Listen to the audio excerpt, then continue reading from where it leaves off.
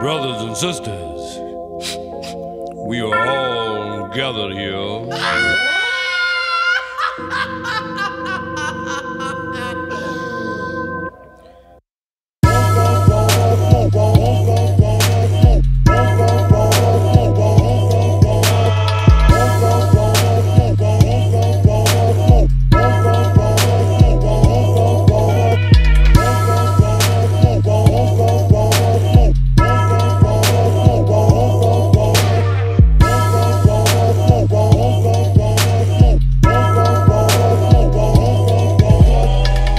daj mi snage da iskuliram sve jadne ljude. Bože daj mi volje da od njih napravim bolje ljude. Puno ljubavi u meni, volim samo svoje ljude. Puno mržnje je u meni, ali nikada za ljude. Moj potencijal je beskrajan, to je razlog iz kojeg noćima ne spavam. Svet oko sebe tumačim i svesna sam da već ludački želim da ga prekrajam. Želim da sam u kontroli, želim da sam glavna I zato želim da sam bogata i da sam slavna. Šta ti vredi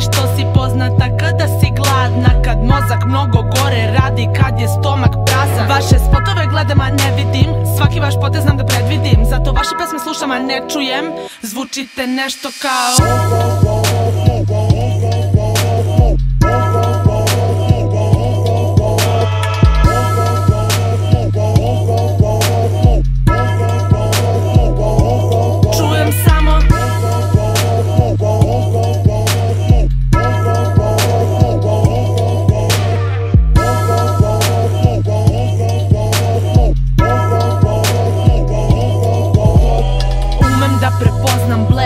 na ljudskim licima I ne pitaj me zašto s tobom. Ne komuniciram Na prvi pogled vidim sve, znam ko je pičkica I ne pitaj me ništa, čutim ko da si policija. Zablejte sa nama, malo se ogrebite. Za pažnju i za gudru pa posle odjebite.